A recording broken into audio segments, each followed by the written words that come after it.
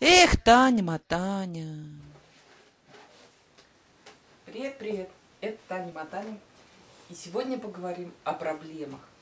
Э, проблемах, которые возникают, когда мама начинает сажать на горшок. Э, есть несколько вещей, о которых я бы хотела поговорить отдельно, как с ними справляться и э, по- помочь Когда я рассказывала про выбор горшка, вот в основном мое упущение, что я рассказала про то, что горшок вот может быть маленький, потому что вот мы вырастали, и посмотрела на эту проблему своими глазами. Но горшок может быть а, большой, узкий, широкий. Сейчас покажу, на что нужно обращать внимание. Так. Когда ребенок садится, вот так вот, он должен упираться вот в эту спинку. Вот так вот должен ребенок упираться полностью в спинку. Вот они находятся бедра. Вот длина вот этого горшка – это длина бедра. Если ребенок маленький, длина бедра должна быть, соответственно, меньше. Видите? Вот на этот горшок мы сели, когда нам было в рост 80 сантиметров. Соответственно, длина бедра совершенно другая. Вот сейчас мы из него выросли, видите, коленки вверх. Вот. Когда мы садились вот на вот этот горшок, мы были где-то ростом 68 сантиметров. Вот. Да. Дальше.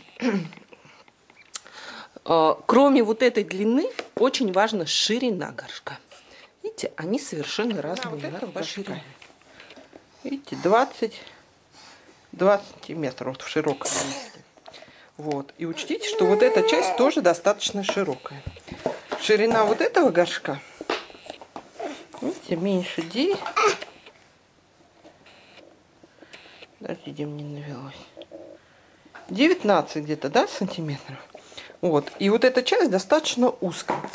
То есть э, горшок должен быть, вот я говорила, что он должен быть не, э, э, что ребенок при вырастании горшка, то есть когда он ему мал, э, должны менять. Но когда вы выбираете ребенку горшок, он не должен быть большой.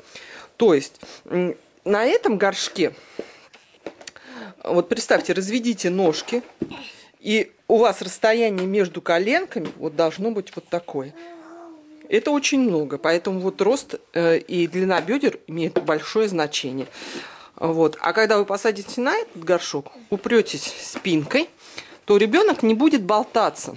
А на этом горшке он может прям, ну, колен- коленки не будут за пределами горшка. То есть вот здесь должны быть коленки. Соответственно, вот эта часть, да, она э, не будет касаться пола. А это очень важно, чтобы нога не касалась пола. То есть большой горшок – это тоже проблема. Вот эта вот длина, вот эта вот длина, э, она тоже иногда имеет значение. Э, Вот я хотела такой же узкий, узкий, но длинный. Тогда можно было бы не покупать второй горшок, и на одном бы мы просуществовали, потому что высота горшка у этих горшков, она вот примерно одинаковая, да, вы видите, то есть задран только вот этот вот носик для мальчиков. Но я не нашла, хотя у меня у старшего был именно вот универсальный, длинный и узкий горшок. Потому что, когда попа вырастает, в принципе, нормально, удобно на этом сидеть. А вот маленькой попе вот на этом будет неудобно. Еще был, была заявка у меня, у меня тут ребенок что творит, про температуру горшка. А, Холодный горшок. Да, ребенку может быть некомфортно не только если горшочек у него э, там не такого размера, допустим, а температура. Раньше были горшки железные, и бабушки знают, что вот очень неприятно на холодном горшке сидеть. Вот. Но сейчас пластиковый. Вот потрогайте рукой, комфортно вам или нет. Холодный э, пластик может быть, если у вас в комнате температура некомфортная, то есть слишком холодно. Конечно, на холодную мне очень приятно садиться, и ребенок возмутится и вскочит. Что ты там делаешь? Ой, трактор приспособил. А, поэтому, ну, погрейте горшок. Погреть горшок можно просто руками там подержать перед тем, как присаживать. А, либо просто тепленькой водой его обдайте. Ну, может быть, ребенку будет комфортно. Кто знает. Чужая душа, тем более чужая попа, потемки. Сейчас я хотела бы заострить внимание, что выбираем опять с ребенком. Ребенок должен посидеть, э, вы должны с ним ходить сами в магазин, и он должен сесть и так, так посмотрите, как он сидит хорошо. И то не гарантия, что вернетесь, и все будет, э, ну, он приз- признает этот горшок. А, Я помню, я захожу к маме, а у нее в коридоре 10 горшков. Я говорю, это что? Говорит, ну вот вообще невозможно, вот просто говорю, ну это вы как-то что-то ненастойчиво все это делаете. Ну, бывают такие, все мы индивидуальные, бывают такие ситуации, вот ребенку не нравится, и потом они на десятом горшке так и остановились. Я говорю, что же вы их все покупали?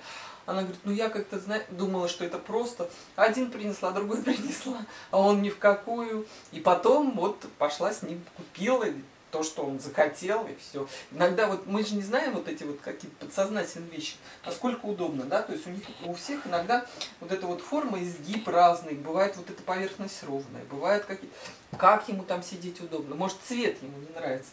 Мама на самом деле покупает горшок очень часто, тот, который ей нравится. Ой, какой там рисуночек веселый и так далее. А это все отвлекает. Вот самый простой горшок без всяких рисунков. И великолепно ребенок сидит. Как только что-нибудь там появляется, ребенок начинает э, э, отвлекаться, и рисунок еще, как правило, сзади, он там начинает переворачиваться, посмотреть, что там нарисовано, тыкать пальцем и так далее. Да, вот э, все красивые вещи рассчитаны на маму все функциональные вещи не должны вот быть красивыми. И самая вот эта проблема еще при выборе горшка, а, это разделение понятия игрушка и горшок. Очень часто мама, а, а, я, причем я каюсь, я сама там, у меня был период, когда я говорила, да ребенок должен наиграться, ни, нисколечко, теперь я абсолютно в этом убедилась, сразу с первого дня нужно объяснять, для чего это. То есть вот вы принесли, и говорить, это писить. Как только начинает ребенок с ним играть и что-то туда внутрь ложить, носиться с ним, надо все время, э, может быть, у вас займет это долгое время. У меня, в принципе, достаточно быстро это прошло. И это горшок, ты сюда писаешь, и постоянно на этом делать акцент. Постоянно, если только он начинает включать куда-то в горшок в игру, надо этот горшок из игры вытаскивать и с первого дня ты писаешь, это для этого. Так же, как стульчик для кормления. На самом деле, некоторые мамы, там, я говорила про стульчики, вот, и, и сделаю такую большую тоже тему.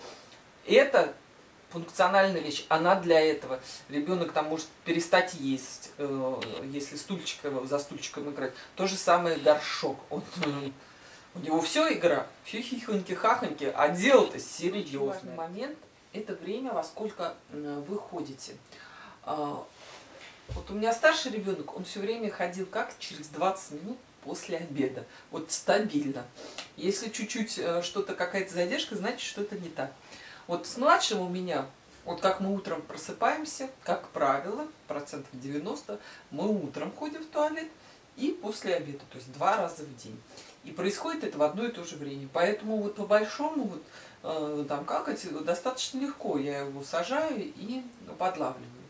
А, потом, если мы попили, вот я за обедом, например, даю питье, если я сразу не посадила после обеда, мы будем мокрые в стульчике, то есть у нас прям вот насквозь проходит.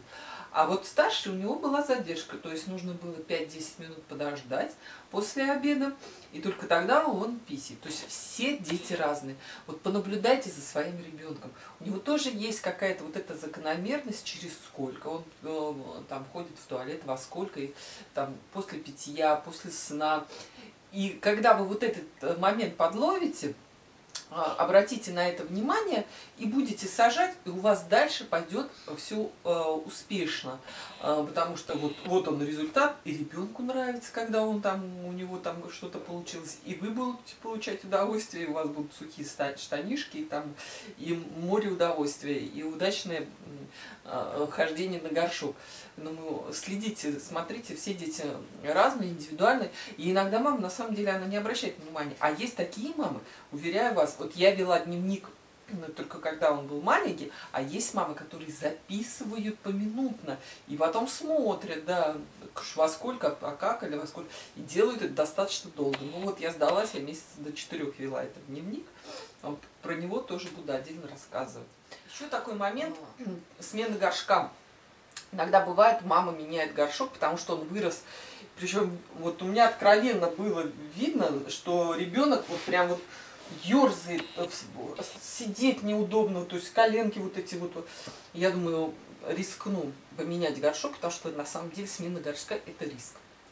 А, к этому горшку он привыкает и его признают. Когда ты приносишь новый, опять а, нужно объяснять, что, что это такое. Во-первых, он будет отличаться, да, вы видите, насколько форма отличалась. Но вот у меня фу-фу-фу, все прошло хорошо. И мы признали этот горшок горшком. Более того, он нам понравился больше. То есть прям вот реально понравился больше. Теперь мы этот не признаем. Если что-то там у меня под рукой он оказался, он, он нет доходит до этого горшка и на него садится. Ну, я только рада, но не всегда бывает так, поэтому иногда приходится опять объяснять. И это пописить, видишь, он там тоже, но он другой, чтобы тебе было удобно там вот это нести. То есть какие-то аргументы нужно придумывать э, и уговаривать ребенка что это э, его очень часто иногда привыкает к любой новой вещи. То есть, ну пусть он постоит, не настаивается, что он в первый день там, пусть он постоит какое-то время, там, он к нему привыкнет. Все дети очень разные. Э, кто-то сразу, а кто-то не сразу. И со временем он его признает. Я говорила про удержание на горшке, вот, э, и не буду опять останавливаться, что нужно взять игрушки по размеру какой-то столик. Все это было в предыдущей теме э, в, в этапах э, горшка. А сейчас я поговорю о том, что не надо долго сидеть на горшке. Не надо. Как? Потому что иногда ребенок как бы заигрывается долго сидеть. Это вредно. Это вредно. Да. Нужно 5-10 минут и ребенка уговаривать снимать с горшка, чтобы он встал и продолжал обычную жизнь. Потому что сидеть на горшке, что они на нем засиживаются. Вот молодец. Пошли. Пошли выливать? Пошли. О, умничка. Пошли. Пошли. Пошли. Мы пошли.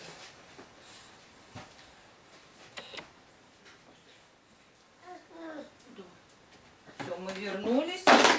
Ой, как ты попал ловко. Молодец. Как ты ловко попал, прям с лету. Молодец. Все, закрыли? Все, молодец. Дай поцелуй. Дай, маленькочку. Иди, молодец. Все правильно. Молодец. Конечно, очень важна последовательность действий. Про нее я уже говорила. То есть вы все делаете последовательно и прорабатываете весь этап. Особенно вот смыть сходить с ребенком, то есть взять горшок, и что с ним происходит дальше, потому что там водичка. А, если вы вот не будете приучать ребенка взять горшок, сходить там сразу с ним, вылить и сразу его помыть, поставить, накрыть крышкой, то у вас получится эффект такой, что там водичка, в нее нужно играть, ее нужно похлопать рукой, в нее можно там что-то покидать и так далее. А, кто-то там выливает, у всех разные вот эти вопросы возникают. А, и чтобы и избежать вот этой вот игры, э, нужно превращать это в другую игру, то есть, потому что ребенок это тоже воспринимает как, э, как игра, первое, и второе, используйте то, что в этом возрасте дети любят повторять. То есть они чувствуют себя такими взрослыми. Вот я, видите, вот я, что я делаю горшком? Я выливаю, я его там ставлю и так далее. Хочу поговорить вот про вот эту вот тему. Просто насильно удерживать и настойчиво. А, конечно, насильно невозможно. То есть вы насильно не посадите, как ребенка. Вот у меня там сразу он будет выгибаться. Поэтому я все время спрашиваю, хочешь ты или не хочешь.